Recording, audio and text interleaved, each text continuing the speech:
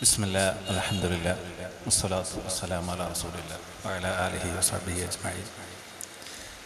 വേദിയിലിരിക്കുന്ന മന്യനായ തനൽ ഉസ്താദ് മറ്റു ഉസ്താദ്മാരെ വ്യക്തിത്വങ്ങളെ സദസ്സിലിരിക്കുന്ന വിദ്യാർത്ഥി സുഹൃത്തുക്കളെ അസ്സലാം വലൈക്കും വളരെ ചുരുക്കി ഒന്ന് രണ്ട് കാര്യങ്ങൾ മാത്രം പരാമർശിച്ച് ഞാൻ അവസാനിപ്പിക്കുന്നതാണ്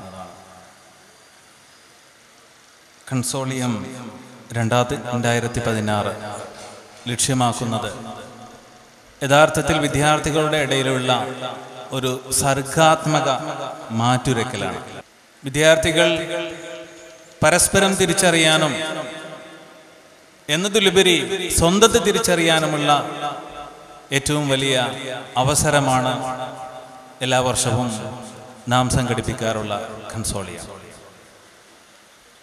സർഗാത്മകതയെക്കുറിച്ച് പറയുമ്പോൾ യഥാർത്ഥത്തിൽ മൂന്ന് പ്രധാനപ്പെട്ട ക്വാളിറ്റി ഉണ്ടെങ്കിൽ മാത്രമേ സർഗാത്മകത ജനിക്കുകയുള്ളൂ സർഗാത്മകത പരിപോഷിപ്പിക്കാൻ കഴിയുകയുള്ളൂ these are three mandatory qualities that a person should have in order to be creative, in order to be talented.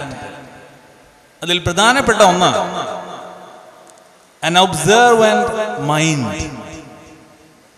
We have got an.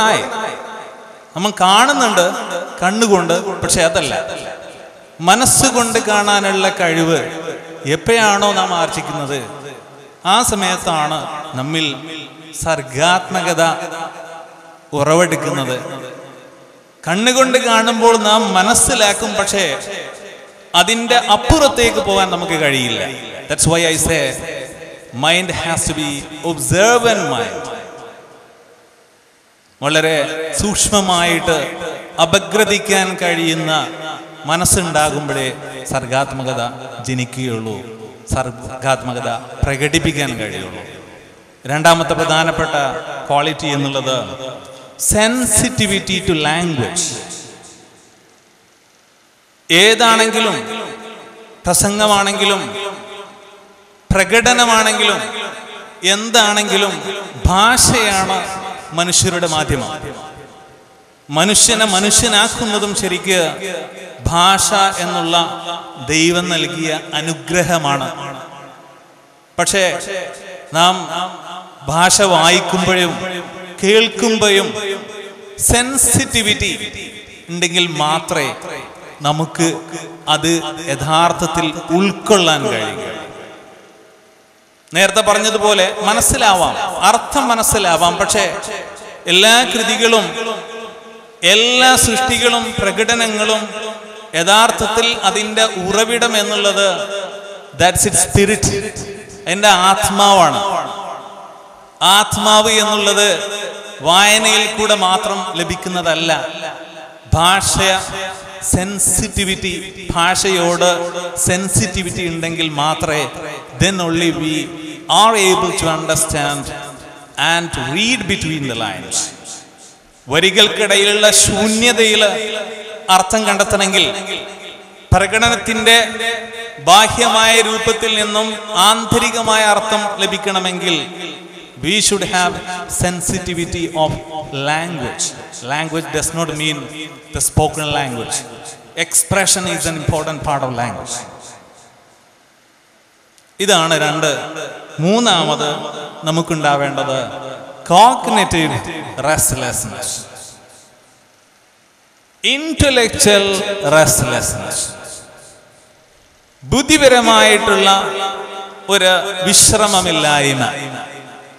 അതായത് ഒരു കാര്യം കണ്ടാൽ ആ കാര്യത്തെ ക്രിയാത്മകമായിട്ട് നിരൂപണാത്മകമായിട്ട് വിശകലനം ചെയ്യുക. ഒന്ന് ഒരു അനുഭവം നടന്നാൽ നാം ആ അനുഭവത്തിന്റെ ഭാഗമാണെങ്കിൽ ആ അനുഭവം എപ്പോഴും നമ്മുടെ ചിന്തയെ അലട്ടിയിരിക്കും.